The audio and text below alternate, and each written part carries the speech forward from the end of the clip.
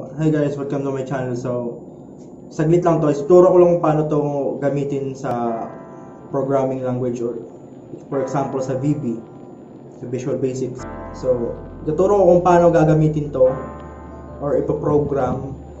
So, tingnan muna natin kung paano gumagana siya. So, meron ako ditong notepad and then mag-scan ako ng barcode. Titingnan natin kung ano yan. 'Di ba every time na nag-scan ako, pumupunta sa new line yung cursor natin. Yan. After niya ma-encode itong um, barcode is nag-new line. So, big sabihin, parang pinipindot niya yung enter button. So, yun yung gagawin natin. I-program natin yan. Tandaan nyo lang na sa huli, may enter button na sinisimulate yung uh, barcode natin, barcode scanner. Yan. Kukuha tayo ng text box. Yan.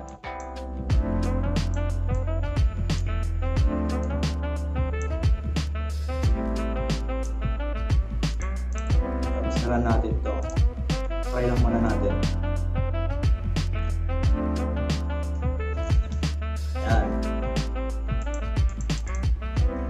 So, try natin to pag in-scan, may lalabas na message. Pero try muna natin kung anong nangyayari pala. Yan. I-encode lang niya yung ano, yung barcode. So, yung gagawin natin, after niya ma-scan, may lalabas na uh, message nung in-scan natin barcode. So, yung codes na gagawin ko ngayon, pwede nyo gamitin sa mga projects nyo. Yan. Wait lang. So, ganito yung gagawin natin. I-double click natin yung text box. And then, pupunta tayo. Pag gagawa tayo ng declaration dito, um, K-press. Okay.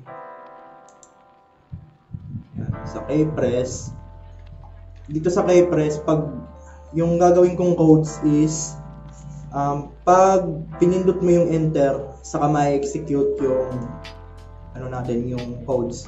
So, ganyan yung ginagawa sa ano sa lahat ng barcode scanner.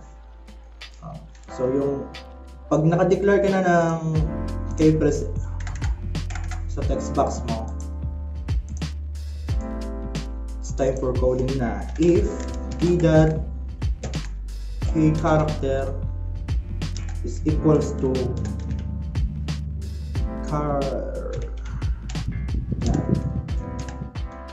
na 13 yan yung ano yan, yan yung pinaka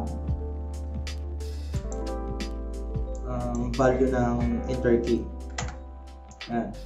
So pag pinindot natin, pinindot natin yung enter key may lalabas na example lang to ah. Pero sa inyo pwede nyo gawin kung anong gusto nyo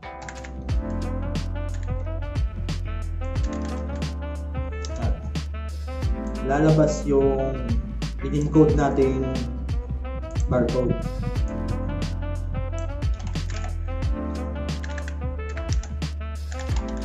Yan.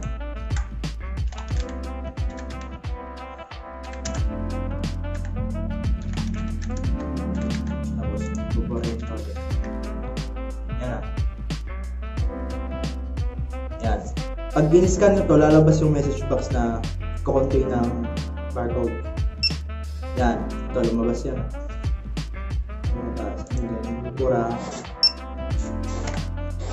So, basically, dito sa part na to, sa Keypress, dyan nyo yung ilalagay yung mga codes nyo. Kung anong kailangan nyo sa projects nyo. Bahala na kayo. Basta, so, mag-subscribe na kayo sa channel ko para ganahan ako gumawa ng mga ibang video.